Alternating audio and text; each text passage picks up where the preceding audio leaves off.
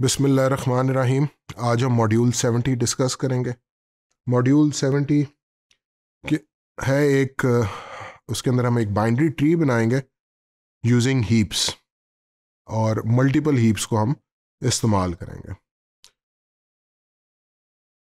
इस एग्ज़ाम्पल के अंदर हमने क्या किया है कि हमने इसको इस तरह से फॉर्मुलेट किया है कि हमने दो हीप्स रखी हैं। एक हीप का नाम हमने रखा है डेटा हीप और एक हीप का नाम हमने रखा है नोड हीप तो एक फ़ाइल में से हम डेटा लेंगे और उस डेटा को रीड करते जाएँगे।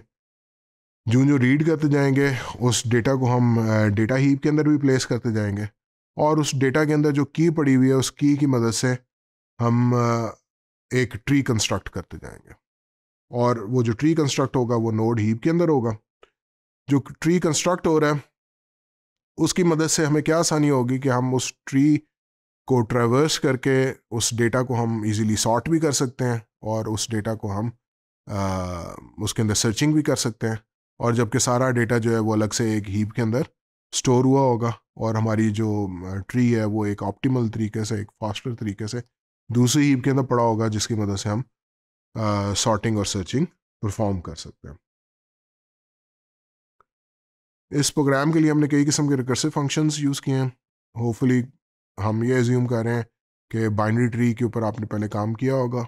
बाइनरी ट्री के अंदर जितने भी उसके फ़ंक्शन हैं, उसको डिस्प्ले करने के एलोकेशन करने के, उनको रिकर्सिवली बनाया जा सकता है। तो हमने रिकर्जन का इसके अंदर काफ़ी इस्तेमाल किया और उसकी मदद से इस ट्री को कंस्ट्रक्ट किया। आए इसकी कोड देखते हैं।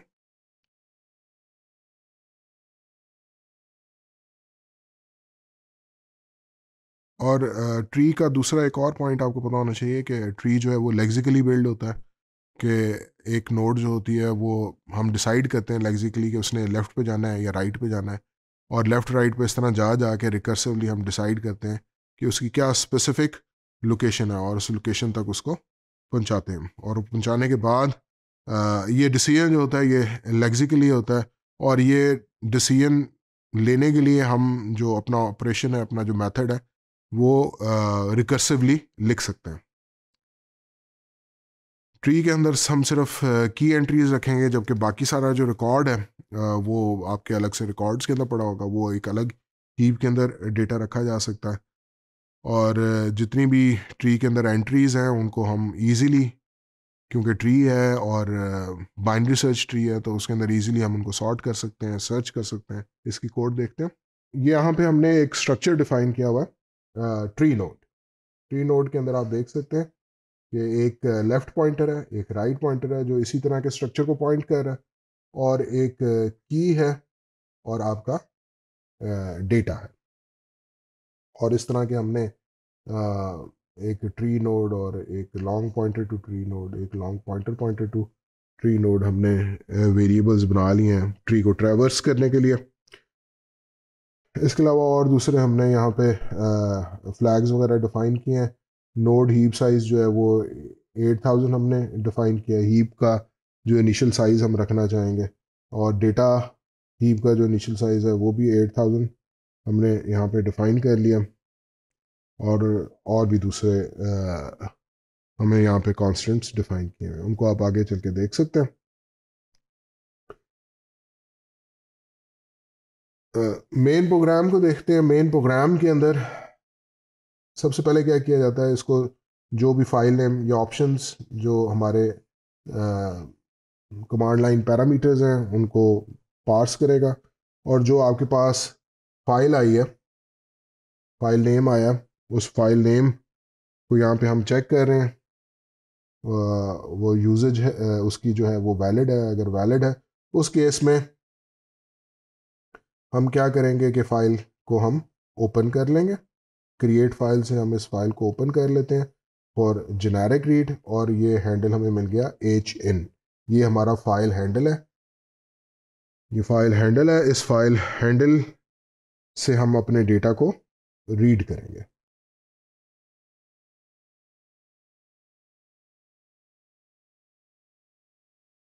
यहाँ पे हमारी फ़ाइल ओपन होगी। अब ये देखें ट्राई का यहाँ पे क्लॉज है।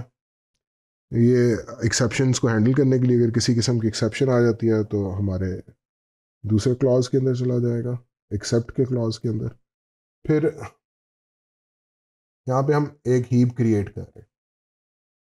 और उसका जो हैंडल है, उसका नाम रखा है एच नोड और एक और हीप क्रिएट कर रहे हैं, उसका नाम है एच डेटा एक, ये वाली हमारी नोड्स को स्टोर करने के लिए और ये हमारे रिकॉर्ड्स को स्टोर करने के लिए हीप हम बना रहे हैं। फिर पी रूट ये हमारा वेरिएबल है। फिल ट्री एक और आगे फ़ंक्शन जो हमने खुद से डिफाइन किया हुआ है, इसको तीन पैरामीटर्स पास हो रहे हैं। एक फ़ाइल दूसरा नोड और तीसरा डेटा जो हमारी नोड हीप है और डेटा हीप है, इन दोनों के हैंडल्स और हमारी फ़ाइल का हैंडल पास किया। और इन द एंड स्कैन का ये फ़ंक्शन यहाँ पे कॉल हो रहा है। अब इन दोनों फ़ंक्शंस को हमें देखने की ज़रूरत है। फिल ट्री के अंदर क्या हो रहा है? और स्कैन के फ़ंक्शन के अंदर क्या हो रहा है। फाइनली क्लॉज के अंदर वही हमने सारी एक्सेप्शन हैंडलिंग की है और जो फाइनली एग्जीक्यूट होगा जो जो हमने एच नोड के लिए एलोकेशन की थी डेटा के लिए की थी वो सारी जो है वो डी एलोकेट वो हीप डिस्ट्रॉय हो रही हैं और जो जो आ, इसके अलावा गार्बेज कलेक्शन के ऑपरेशन हैं वो सारे परफॉर्म हो रहे हैं इन केस ऑफ़ एक्सेप्ट ये देख रहा है किस वजह से एक्सेप्शन आई है उसके अकॉर्डिंगली यूज़र को मैसेज जनरेट हो जाएगा। अब हम आते हैं अपने फिल ट्री के फ़ंक्शन के ऊपर। फिल ट्री का फ़ंक्शन फिल ट्री का फ़ंक्शन क्या कह रहा है? यहाँ पे पी नोड के लिए ये हीप में से मेमोरी एलोकेट कर रहा है।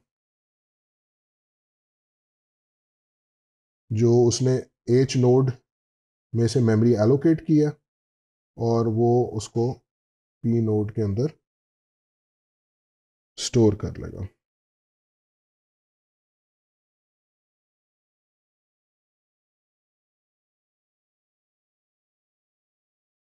अब आपके पास ये जो पी नोड है पॉइंटेड टू द नोड है, इसका जो डेटा है उसको आपने इनिशियली नल सेट किया। फिर आपने लेफ़्ट को और राइट right दोनों को उसने इनिशियली नल सेट कर दिया। फिर फ़ाइल को रीड किया और फ़ाइल में से जो भी वैल्यू रीड होगी, वो की के अंदर चली जाएगी। पी नोड की के अंदर चली जाएगी। और इसके बाद ये यहाँ पे इस फ़ंक्शन के अंदर जो है ये सिर्फ़ जो वाइट स्पेसेस हैं वाइट स्पेसेस हैं, यहाँ पे एल एफ़ और सी आर इन दोनों को वो सर्च कर रहा है और जब तक एल एफ़ सी आर नहीं आते, ये यहाँ से लूप करता रहेगा। इसका मतलब है कि वो लाइन के एंड तक पहुँच जाएगा। लाइन के एंड तक पहुँचने के बाद अगेन फिर से नेक्स्ट आइट्रेशन स्टार्ट होगी। हर आइट्रेशन में क्या कर रहा है? एक लाइन रीड कर रहा है और वो लाइन जो है वो की के अंदर जा रही है। फिर नेक्स्ट आइट्रेशन में एक और लाइन रीड करेगा और वो लाइन की के अंदर जाएगी एंड सो ऑन हर आइट्रेशन पे एक एक लाइन वो फ़ाइल में से रीड करता चाहेगा दूसरी जो आपके पास हीप है that is H data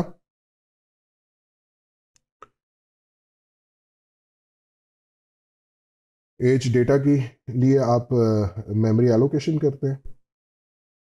और जो भी एड्रेस है, उसको आप पी स्ट्रिंग के अंदर प्लेस कर देते हैं। और उसके ऊपर ये जो की है, जो भी आपने लाइन रीड किया है वो कॉपी कर देते हैं। यानी कि जो फ़ाइल में से लाइन रीड हुई है, वो इस डेटा वाली हीप के अंदर एज इट इज़ कॉपी हो जाएगी।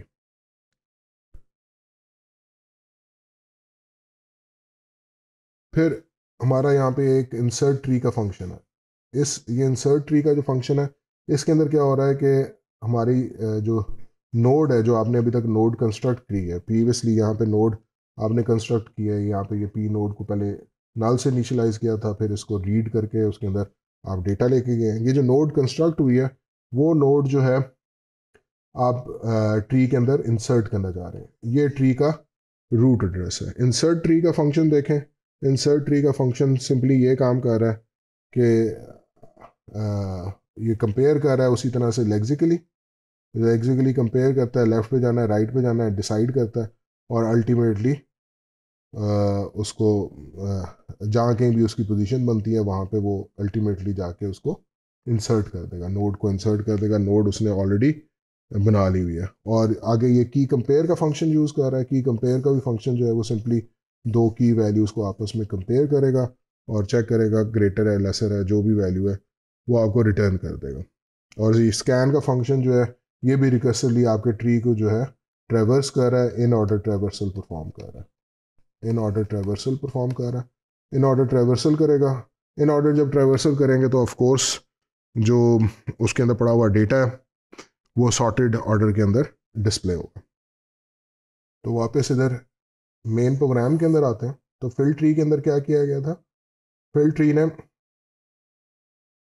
आ, एक तो डेटा इस डेटा हीप के अंदर प्लेस कर दिया था और नोड जो थी, उसको ट्री के अंदर इंसर्ट कर दिया था, जो हमारी पी रूट है।